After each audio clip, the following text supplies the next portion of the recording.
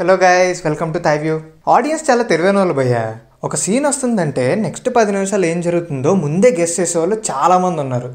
వాళ్ళు గెస్ట్ చేసింది ninety percent right కూడా అయ్యే సందర్భాలు ఎన్నో ఉన్నాయి. ఎందుకంటే సినిమాలు చూడడంలో అంత ఆరితేరిపోయాం మనం. Coming to the remaining ten percent కథ మనం ఊహించినట్టు కాకుండా వేరేలా ఉంటుంది. ఆ కథలో మలుపు వస్తుందని మనం గుర్తించం కూడా. ఇక్కడే మనకి రైటర్ బ్రిలియన్స్ తెలుస్తుంది. ఒక అద్భుతమైన ట్విస్ట్ ఉన్నప్పుడు మనం మళ్ళీ డైరెక్టర్ దానికి తగిన డీటెయిలింగ్ అది కరెక్ట్గా పెట్టారా లేదా అని చెక్ చేసుకుంటాం. సో మళ్ళీ రెండోసారి చూసినప్పుడు అరే డైరెక్టర్ ముందు నుంచి హింట్స్ వదులుకుంటూ వెళ్ళాడే. ఏ మాట? కామాట ట్విస్ట్ అంటే ఇలా ఉండాలి అని మనం అనుకున్న పది సినిమాల గురించే వీడియో. మరి ట్విస్ట్ డిస్కస్ చేస్తున్నాం కాబట్టి ముందే స్పాయిలర్ అలర్ట్ ఇచ్చేస్తున్నాం. చూసుకోండి. లేట్ చేయకుండా let's begin twist from Telugu cinema part one number one Baahubali Baahubali the బిగినింగ్కి మన అంచనాలు ఎక్కడో ఉన్నాయి.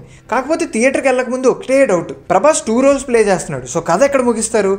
అయితే అక్కడ ఉంది ఎవరు? జక్కన్న. ఒక సీన్ ఎన్ని నిమిషాలు ఉండాలి? ఎన్నో సెకండ్కి బీజియం పడాలి? అక్కడ హీరో ఎక్స్ప్రెషన్ ఏమి ఇవ్వాలి? ఇలా ప్రతిదీ చెక్కడంలో నుష్ణాతుడు. ఇక బాహుబలికి వచ్చిన వారిని బాహుబలి టూ గురించి ఎదురు చూసేలా చేయడం అతనికి ఒక లెక్క. సుమారు రెండేళ్ళు వై కట్టప్పకిళ్ళు బాహుబలి అనే ప్రశ్నకు సమాధానం గురించి ఎదురు చూడని వాడు లేడు. ట్విస్ట్ అందరూ రాస్తారు. కానీ ఎక్కడ ఎప్పుడు ఎలా చెప్పాలనేది ముఖ్యం. బాహుబలి లాంటి రాజుకు వెన్నులో ఉండేవాడు కట్టప్ప. ఎంతటి వారినైనా ఎదుర్కొనే సత్తా ఉన్న వీరుడు మరణించాడంటే నమ్మబుద్ధి కాదు. Then comes the big reveal నేనే వెన్నుపోటు పొడిచా మహేంద్ర అని కట్టప్ప అనగానే ఎండ్ కార్డ్స్ పడతాయి. ఆ ఒక్క మాట వల్ల జనాలు రెండేళ్ళు వెయ్యి కళ్ళతో ఎదురు చూశారు. This is the best twist from Telugu witnessed by pan Indian audience అదే ఈ ట్విస్ట్ పార్ట్ టూలో రివీల్ చేసిన ఇంత ఇంపాక్ట్ ఉండేది కాదు. నంబర్ టూ రంగస్థలం. సినిమా మొదటి నుంచి విలన్ ఎవరు అంటే ఫణీంద్ర భూపతి అని మెంటల్గా ఫిక్స్ అయిపోతాం. ఫణీంద్ర భూపతికి కాకుండా వేరే ఎవరికి ఉంటుంది చంపే అవసరం అని అనుకుంటాం. బట్ ఇక్కడే సుక్కు తెలివి మనకు తెలుస్తుంది. ఆది పినిశెట్టి లాంటి హీరో ఉన్నారు కాబట్టి ఒక లవర్ని పెడితే బాగుంటది. అందుకే పెట్టారేమో అనుకుంటాం. అన్న లవ్ స్టోరీ చూసే చిట్టి రామలక్ష్మి కూడా అలాగే ప్రేమిస్తాడు. ప్రేమ అంటే అంతేనే ఏడుపుచ్చేస్తుంది అనే డైలాగ్ కూడా పర్ఫెక్ట్ ఎగ్జాంపుల్. దానికి తోడు ఎమ్మెల్యే దక్షిణామూర్తిని మంచోడుగా చూపిస్తారు. ఇక్కడే ఒక టెక్నిక్ యూజ్ చేశారు. చిట్టి బాబుని జైల్లో పెట్టినప్పుడు కుమార్ బాబు దక్షిణామూర్తి సహాయం అడుగుతారు. కానీ ఫణీంద్ర భూపతి పోలీస్ వాళ్ళకి ఫోన్ చేసినప్పుడు వదిలేయండి అని నెమ్మదిగా అంటాడు. ఇక్కడ అలా పెట్టకపోయినా పర్లేదు. బట్ ఇది మనకు ఫణీంద్ర భూపతి వదిలేసేవాడని చెప్పడానికి ఒక example. Next one is the best దక్షిణామూర్తిని Chittubabu చంపడానికి వెళ్ళాక మైండ్ పోయే ట్విస్ట్. కుమారి బాబుని చంపింది తనే. తన కూతుని ప్రేమించినందుకు చంపేస్తారండి. బట్ ఈ సీన్ అందరు డైరెక్టర్స్ తీసినట్టు సుక్కు తీయలేదు. This is what separate Sukku from other directors Chittibabu మొరటోడు. So బయటికి చెవిటివాడిలా కనపడడానికి ఇష్టపడ్డు. కానీ తన లోపం వల్ల అన్నని చంపిన వారు ఎవరో తెలుసుకోలేకపోతాడు. అందుకే సినిమా మొదట్లో ఎవరైనా అడ్రస్ అడిగితే చెప్పని వాడు సినిమా చివరిలో ఇయర్ మిషన్ పెట్టుకుని చెప్తాడు. అందరి డైరెక్టర్స్లా సుక్కు స్పూన్ ఫీడింగ్ చేయడు. That's is own mark Srimannarayana అనే పేరు అనేది ఒక జాతరలో హీరో వింటాడు. ఇదే మాట మా అన్న చెప్పాడే అని అన్వేషిస్తే ఎవరు చంపారో తెలుస్తుంది. Scene placement revealing the twist ఇక్కడ ఫణీంద్ర భూపతిని చంపేశారని ముందే చెప్పిన మనకి అర్థమైపోద్ది హీరో ఎందుకు దక్షిణమూర్తి దగ్గర ఉంటున్నాడు అనేది కానీ ఆ సీన్ లాస్ట్ రివీల్ చేస్తారు. And regarding the twist hints మనకు ముందు నుంచే ఉంటాయి. మీటింగ్ దగ్గర శ్రీమన్నారాయణ వస్తున్నప్పుడు చిట్టుబాబుకి ఏదో కీడు జరగబోతుందని ఫీలింగ్ వస్తుంది. సరిగ్గా అప్పుడే కుమార్ బాబు మందలిస్తాడు. సో మనకి దక్షిణామూర్తి మాటలు వినపడకుండానే హైడ్ చేస్తారు. బట్ లాస్ట్లో మీ నోటన ఆ మాట విన్నాను అన్నప్పుడు దక్షిణామూర్తి మాటలు చూపిస్తారు మాంటేజ్లో. ట్విస్ట్ని సందర్భానుసారం ఓవర్ షాడో చేసి టైంలో ప్రెజెంట్ చేయడం తెలిసిన డైరెక్టర్ సుక్కు. అందుకే రంగస్థలం అంత పెద్ద హిట్ అయింది. Number three Pokiri. సినిమా మొదలైంది ఫ్లాప్ టాక్తో. కట్ చేస్తే కొద్ది రోజులకు బొమ్మ ఇండస్ట్రీ హిట్. పోకిరిని ఇండస్ట్రీ హిట్ చేసింది ఆఖరిలో వచ్చే ఆ ట్విస్టే. Probably one of the best twist in TFI ఈ రేంజ్ హై వేరే ఏం ట్విస్ట్ మనకి ఇవ్వలేం. Lucky are those who witness this in theatres Pandugadu Pokiri అదవ but ఎక్కడో ఒక చిన్న సాఫ్ట్ కార్నర్ ఇడు మంచోడేరా అని ఫీల్ ఉంటుంది. దానికి హీరో కదా మంచోడే అని మనం ఊరికే అనుకుంటే ఫీల్ వచ్చేది. ఇలియానాని నైట్ టైం పోలీస్ ఆప్ అన్కంఫర్టబుల్గా ఫీల్ అయ్యేలా చేసినప్పుడు పండుగడు ఏదోటి చేస్తానని అక్కడి నుంచి పంపేలా చేస్తాడు. ఇక్కడ మనకు వీడు మంచోడే అని సబ్ కాన్షియస్గా ఇంప్రెషన్ క్రియేట్ అవుతుంది. గన్ దగ్గర కూడా డైలాగ్ ఉంటుంది. సినిమాలు చూడట్లేదా ఏంటి అని. కానీ హీరో పోలీస్ కాబట్టి గన్ తెప్పడం వచ్చు. ఒక పంచ్ డైలాగ్లో కూడా డీటెయిలింగ్ పెట్టడం పూరికే కుదిరింది భయ్య. ఎప్పుడైనా ట్విస్ట్ మనం ఊహించలేని వస్తే ఆశ్చర్యపోతాం. ఇది మనం సహజంగా ఎక్స్పీరియన్స్ చేసే ఫీలే బట్ పోకరీలో ట్విస్ట్ వర్క్ అవడానికి మెయిన్ రీజన్ ఒక్కటే. నాసర్ రోల్. ముందు నుంచి ఒక పాజిటివ్ ఒపీనియన్ ఉంటుంది ఆ పాత్ర మీద. And then Prakash Raj kills the hero best friend Ajay. Next వేసేది నాజర్నే అరే ఎవరన్నా వస్తే బాగుంటుంది కాపాడడానికి. అండ్ లోపల నుంచి మనకు ఫీలింగ్ వస్తుంది. ఆల్సో పోలీస్ డిపార్ట్మెంట్లో సరిగ్గా ఉండే కాప్స్ని అప్పటి వరకు మనకు చూపించరు. ఉండే ఒకే ఒక సిన్సియర్ కాప్ షాయాజీ షిండేని కూడా దెబ్బతింటాడు. విలన్కి సరైన మొగుడు వస్తే బాగుంటుందని మనం ఫీల్ అయ్యే టైంలో హీరో పోలీస్ అనే ట్విస్ట్ రివీల్ చేస్తారు నాజర్ కృష్ణ మనోహర్ ఐపీఎస్ తన కొడుకు అని చెప్పగానే అంతా ఒక్కసారి ఫ్లాష్ అవుతుంది. అప్పటికే పండుగడి క్యారెక్టర్ మనకి బీభత్సంగా నచ్చేస్తాడు. ఒక డౌట్ కూడా ఉంటుంది. అసలు హీరో ఎందుకు గ్యాంగ్స్టర్ అయ్యాడని. అవన్నీ ఇక్కడ క్లియర్ అయిపోతాయి. ముఖ్యంగా ఎమోషన్ భయ్య. హీరో నాన్న చనిపోతూ పోతూ ఇచ్చే ఎలివేషన్. నా కొడుకు వస్తాడు. కలుపు మొక్కల్ని ఏరి పారేస్తాడు అని బ్యాచ్ నెంబర్ చెప్తుంటే ఆ పిల్ల వయసులోనే సీటు నుంచి ఎగిరిగంతులేసా దానికి తోడు మణిశర్మ బీజియం. బాబు పరిగెట్టొస్తుంటే ఒక హై. మోస్ట్ సాటిస్ఫైయింగ్ ట్విస్ట్ అంటే ఇదే భయ్యా? Number four care of Kancharpal. పల్లెటూరులో ఉండే అడ్వాంటేజ్ని స్టోరీ టెల్లింగ్ వాడుకున్న ఘనత వెంకటేష్ మహాకే దక్కింది. కొన్ని సినిమాలు ట్విస్ట్ మీద ఎక్కువ రిలే అవుతాయి. ఆ ట్విస్ట్ లేకపోతే ఏం లేదురా అనే ఫీల్ మనకి ఎన్నో సినిమాలు చూస్తే కలిగింది.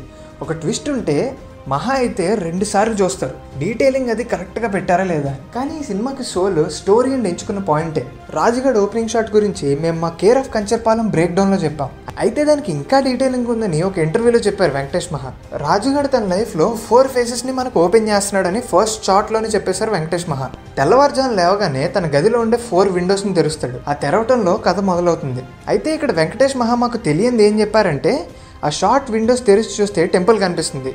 మూవీలో మెయిన్ పాయింట్ కూడా రిలీజియనే. ఈ సినిమాలో ఎక్కడ ట్విస్ట్ గురించి కథ రాసుకుంటాడు అనిపించదు. కథ కోసమే ట్విస్ట్ పుట్టింది. కథ అంతా అయిపోయి మనం నైంటీ నైన్ పర్సెంట్ సాటిస్ఫై అయిపోయాక ఆ సాటిస్ఫాక్షన్ రెట్టింపు చేసేలా రాజుగాడు ఒక మాట అంటాడు. మొదటి నుంచి మా ఊరు వాళ్ళకి నా పెళ్ళంటేనే ఎక్కువ ఇంట్రెస్ట్ అని చెప్తాడు. అప్పుడు వేస్తారు మాంటేజెస్. సుందరం జోసఫ్ గెడ్డం ప్రేమ కథలను. And then journey of Rajasundaram AKA Joseph AKA Gaddam అని పడుతుంది. సుందరం ముందు హిందూ మతాన్ని నమ్ముతాడు. కానీ తను ప్రేమించిన సునీత నాన్న దూరం అవుతారు. ఇంకా క్రిస్టియన్గా మారిన జోసఫ్ని చూపిస్తారు. ఇక్కడ హీరో హిందూ అయితే తనకు సక్సెస్ అయ్యేదేమో. కానీ క్రిస్టియన్ అవడం వల్ల భార్గవే దూరం అవుతుంది. ఇక ఏ మతం లేకుండా కేవలం మనుషులు నమ్ముతూ బతుకుతున్నప్పుడు వేరే మతం వల్ల సలీమా దూరం అవుతుంది. చివరికి రాజుగడ స్టోరీ ఒక్కటే సక్సెస్ అవుతుంది. అయితే ఈ సినిమాలో కేవలం మతం మాత్రమే కాదు ప్రేమకు కూడా పరిధులు లేవని చెప్పారు. అందుకే హీరో ఐదు పదుల వయసులో కూడా ప్రేమించి పెళ్ళి చేసుకుంటాడు. My favourite part is Gaddam Salima story. ఒక ప్రాస్టిట్యూట్తో లవ్ స్టోరీ కూడా ఇంత పొయిటిక్గా రాసుకోవచ్చని ప్రూవ్ చేశారు. అయితే ట్విస్ట్కి బలంగా ఉపయోగపడింది ఆ ఊరే. మనం ఎదిగే కొద్దీ పట్టణాలు మారతాయేమో కానీ పల్లెటూర్లు మాత్రం అలాగే మిగిలిపోతాయి. ఈ సినిమాలో మనకి పెద్దగా టైం పీరియడ్ తెలియదు ఈవెన్ దో పర్ఫెక్ట్గా మెయింటైన్ చేసినా మనం ఎందుకో అంత పట్టించుకోం. అన్ని స్టోరీలు ఒకేసారి అవుతున్నాయనే భావనలో అసలు టైం షిఫ్టే గమనించాం. పల్లెలు కదా పెద్దగా ఏం మారవు.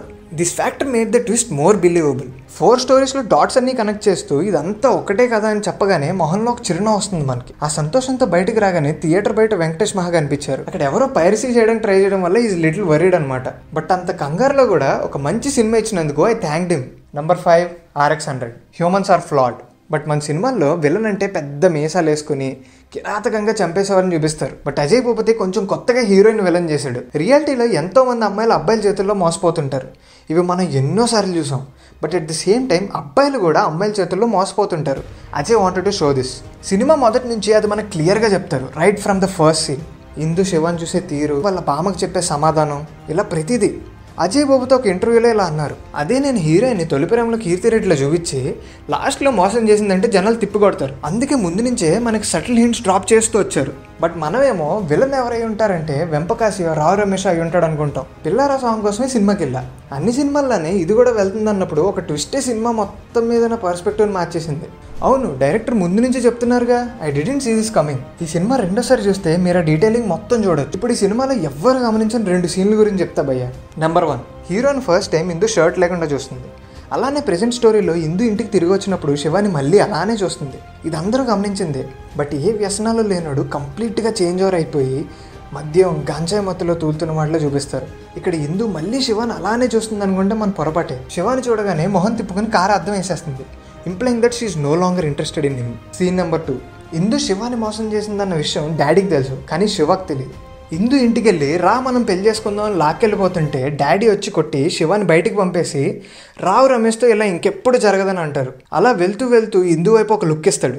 And at the same time Indu కూడా కన్నింగ్గా చూస్తుంది డాడీని. బట్ ఇది లాంగ్ షాట్ క్లోజ్ చేస్తే అక్కడే ట్విస్ట్ తెలిసిపోయే ఛాన్సెస్ ఉన్నాయి మనకి.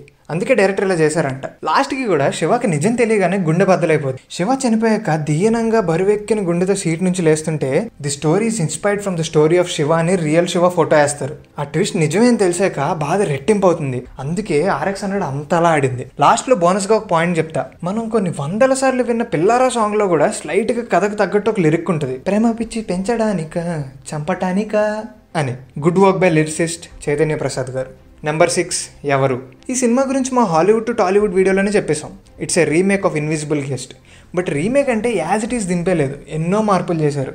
అండ్ చేసిన మార్పులు సినిమాని ఇంకా బిలీవబుల్గా చేసాయి hats off to the movie team you guys have our respect బదులా కానీ ఇన్విజిబుల్ గెస్ట్ కానీ చూస్తే we see old people there is prosthetic stuff link to the twist ఇదే సినిమా తెలుగులో అంటే నాకు ఒక డౌట్ వచ్చింది. హీరో శేష్ కదా మళ్ళీ అదే ట్విస్ట్ని ఇక్కడ ఎలా చూపిస్తారు అని. ఎందుకంటే అక్కడ అమితాబ్ కాబట్టి ట్విస్ట్ని మనం నమ్మేస్తాం.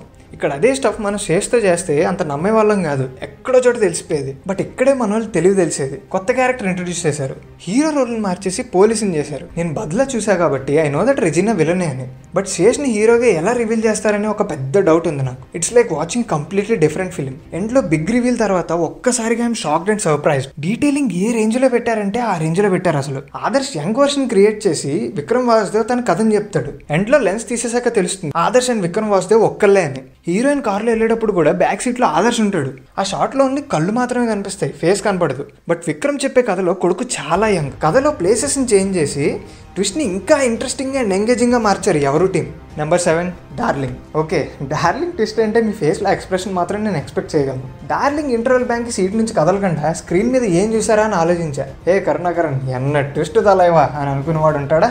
ఏంటి అంత మంచిగా స్విట్జర్లాండ్ వెళ్ళారు? నందిని అంత బాగా ప్రేమించాడు. సడన్గా అంత పెద్ద ట్రాజిడీ అని అంత డీప్గా సినిమాలో మునిగిపోతున్నప్పుడు no you should come out of it అని మనం స్విట్జర్లాండ్ ఎప్పుడు వెళ్ళాను రా అని ఫ్రెండ్ అడిగినప్పుడు ఒక్కసారిగా షాక్ ఆ పది నిమిషాలు ఎలా గడిచిపోయా సెకండ్ హాఫ్ ఎలా స్టార్ట్ అయిందో కూడా నాకు తెలియదు సినిమా ముందుకెళ్తుంది. రోజులు గడిచిపోతున్న నందిని రిషిని తప్ప ప్రభాన్ దేకట్లే. And then comes this scene దమ్ము టైం వచ్చినప్పుడు అదే బయటపడుతుంది అని ఒక మంచి ఎలివేషన్. తర్వాత ప్రాణమా సాంగ్. ఎస్ నందిని మా వాడిని ఇష్టపడుతుంది అనుకునే లోపే మనం ప్రభాస్ని ఇంట్లో దొబ్బేమంటారు here comes the second twist and the best twist Nandini ప్రభాని ఎప్పటి నుంచో ప్రేమిస్తుంది అనే ట్విస్ట్ నాకు తొలి ప్రేమ క్లైమాక్స్ ఎంత ఇష్టమో డార్లింగ్ క్లైమాక్స్ కూడా అంతే ఇష్టం. ఫస్ట్ స్టోరీలో ఉన్న డీటెయిలింగ్ సెకండ్ స్టోరీలో కూడా వాడతారు. ప్రభా చిన్నప్పుడు నందినికి ఇచ్చే చైన్ని స్టోరీ టెల్లింగ్కి యూస్ చేసుకుంటారు. ఫస్ట్ స్టోరీలో ప్రభా యూస్ చేసిన చైన్ సెకండ్ స్టోరీలో నందిని యూస్ చేస్తుంది. ఫస్ట్ హాఫ్లో మమ్మల్ని నిర్రలం చేసిన సెకండ్ హాఫ్లో మాకు కావాల్సిందే చేశారు. మాకు గుర్తుండిపోయే లవ్ స్టోరీస్ ఎందుకు? Thank you Karunakaran garu. ఇలాంటి సినిమాలు మళ్ళీ ఎప్పుడు తీస్తారు? Sir please waiting Gautham Nanda. Gopichand నుంచి వచ్చిన సినిమాల్లో చివరిగా అందరికీ నచ్చిన సినిమా ఇది. విలన్ రోల్ అంటే చాలు గోపిచంద్ జీవించేస్తాడు. సినిమా మొదటి నుంచి మనకి నంద క్యారెక్టర్ మీద ఒక సాఫ్ట్ కార్నర్ ఉంటుంది. బికాస్ ఆ కష్టాలు అవి చూసి వీడు succeed అవ్వాలనుకుంటాం. But Gautham and Nanda places interchange అవుతారు. గౌతమ్ టోటల్ చేంజ్ ఓవర్ చూస్తాడు. లైఫ్ ఏంటో తెలుసుకుంటాడు. కానీ నందాలో no change what makes this movie special is the villainism of Gopichand. Nanda డబ్బుని తప్ప వేరే దాన్ని ప్రేమించడు. దీన్ని మనకి ఫస్ట్ షాట్ నుంచి క్లియర్గా ఎస్టాబ్లిష్ చేస్తారు. అండ్ దెన్ ప్లేసెస్ మారే టైం వస్తుందని Nanda plots murder of Gautham. ఈ ట్విస్ట్ అయితే ఎవ్వరు ఊహించింది. ట్విస్ట్ అంత బాగున్నా సరే సినిమా నిలబెట్టింది మాత్రం climax Nanda staying true to his character dying rich Gopichand కెరీర్లో one of the best role Nanda role క్యారెక్టర్ని ఇంత బాగా డిజైన్ చేసుకున్నారు సంపత్ నంది. నంబర్ నైన్ ప్రస్థానం. మన తెలుగులో గొప్ప సినిమా లిస్ట్ అనేది తీస్తే వాటిలో ఈ సినిమా పేరు ఖచ్చితంగా ఉండి తీరుతుంది. దేవకట నుంచి వచ్చిన కల్ట్ క్లాసిక్. ఒక్కో డైలాగ్ ఒక్కో ఆనిముత్యం. సినిమా మొదట్లో టైటిల్ పడకముందే ఒక డైలాగ్ వేస్తారు. అది కూడా సాయి కుమార్ గారి వాయిస్లో. హీరోలు విలన్లు లేరి నాటకంలో అనే డైలాగ్. మళ్ళీ కథలో ఈ డైలాగ్ ఎప్పుడు వస్తుందా అని సినిమాలో చూడండి. సరిగ్గా బిగ్ రివీల్ తర్వాత సాయి కుమార్ చెప్తాడు ఈ డైలాగ్ ట్విస్ట్కి మనల్ని ముందే సిద్ధం చేశారు. పురాణాల రిఫరెన్స్ ఇంత డీటెయిల్గా వాడిన director దేవగట్టానే Sai Kumar is undoubtedly one of the best actor సరిగ్గా వాడుకుంటే అద్భుతాలు చేయగలరు అనడానికి ఈ ఒక్క రోల్ మంచి ఉదాహరణ. మామూలుగా సర్వసాధారణంగా మనకి హీరో పాత్ర నచ్చుతుంది. కానీ ఈ ఒక్క సినిమాలోనే విలన్ పాత్ర ఎక్కువ నచ్చుతుంది. ఒక గాడ్ ఫాదర్లో ఉండే అతను ఒక మృగంలో ఎలా మారుతాడు? తనలో ఉన్న మృగాన్ని ఎలా అనగదొక్కుంటాడనే గొప్ప సీన్ షాట్స్ ఉంటాయి. For example this mirror shot ఇంత లేయర్డ్ క్యారెక్టర్స్ ఉన్నప్పుడు మనకి కథ సర్వసాధారణంగా రివెంజ్ స్టోరీ అనుకుంటాం. But then comes this twist which changes everything మానవ ప్రస్థానం గురించి అద్భుతంగా చెప్పిన సినిమా తెలుగు సినిమా చరిత్రలో గుర్తుండిపోతుంది. నెంబర్ టెన్ మిస్సమ్మ అప్పటి వరకు భూమికను ఒక యాంగిల్లో చూస్తాం. ఏంట్రా బాబు ఎంత శాడిస్టిక్గా ఉందనుకుంటాం. భూమిక ఆస్తంతో ఒక సముద్ర చేతిలో పెట్టాలని ఇదంతా చేసిందని చెప్తారు. ఒక నార్మల్ ఫ్యామిలీ డ్రామాలో కూడా ఇలాంటి ట్విస్ట్ పెట్టొచ్చు. పెడితే మనం కనెక్ట్ అవుతాం అనేలా తీశారు. ముఖ్యంగా భూమిక కెరీర్లో గుర్తుండిపోయే పాత్ర ఇది. So that is the video guys మీరు థియేటర్లో చూసి మైండ్ పోయిన సినిమాలు ఇంకే ఉన్నాయో మాతో కమెంట్ సెక్షన్లో షేర్ చేసుకోండి. మీకు కానీ వీడియో నచ్చితే ప్లీజ్ లైక్ చేయండి అండ్ ఆల్సో సబ్స్క్రైబ్ చేయండి. సబ్స్క్రైబ్ చేయకుండా చూసేస్తున్నారంట భయ్య ఎనభై పర్సెంట్ మంది. ప్లీజ్ సబ్స్క్రైబ్ మాత్రం చేయండి. This is Chari signing off